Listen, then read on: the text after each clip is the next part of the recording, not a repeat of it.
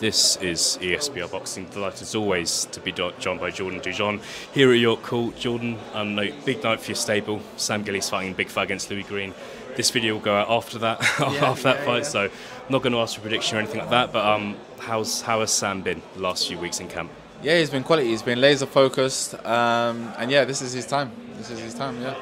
Brilliant. Really looking forward to it. Um, how are things with you? It's been a little while. I think we spoke briefly before the Harry Scarff fight. Um, you've got this big fight against Konstantin Ursu in a few weeks' time. Um, how has this year been for you so far, would you say? Held your own against Harry Scarff. I know you had a fight after that as well. Another big fight for you before the end of the year. How, how's 2023 treated you? Yeah, you know what? 2023 has been a massive learning curve. Um, uh, there's a lot of things that I've taken, um, changed, and yeah, it's just made me a different animal. Um, I had a little setback with uh, the fight getting rescheduled with Ursu. But everything for a reason. Um, fit and healthy, and yeah, I just can't wait to go December 9th. Brilliant. Um, I've known you for a few years now. Always very polite, very composed. Always give me a lot of time. Always appreciate that. Saw a different side to you in the, face to face against Konstantin Ursu. Um, what happened? What was it that agitated you there? Got that reaction from you? You know what? In uh, one of the interviews that I had with him, when was uh, with the face off, he was basically he was just talking like he was just levels above. And then I thought, you know what, I just can't wait to just knock you out, mate. And to be honest with you, I'm someone I'm happy to go in there, box, win on points. It's never personal, it's just business for me. But yeah, he just he sparked something different in me.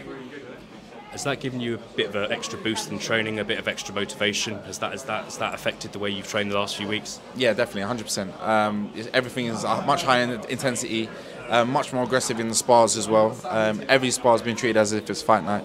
So yeah. Brilliant. Um, with him, what are you all being well on December the 9th, what are you going to say to him after the fight? Is there going to be that respect there? Is it going to be a bit different because you've had this back and forth? What, what, what's it going to be like?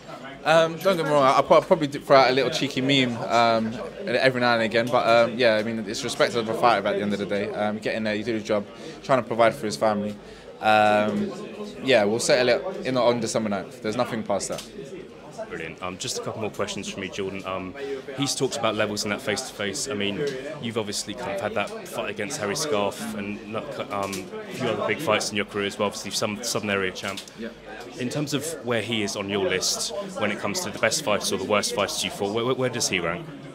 Uh, I mean, I'll, I'll, probably put him down to my maybe second or third hardest fight. I reckon. Um, yeah, obviously you're gonna put Harry Scarff at the top.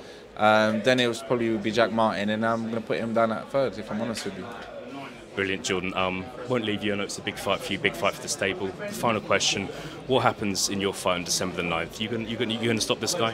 Yeah, I'm going to stop him, mate. And it's going to be early as well. Jordan, great to catch up with you as always. We'll speak to you again soon. Thank you, Elliot. Cheers, mate. Cheers. Thank you, brother. Thanks, See you soon.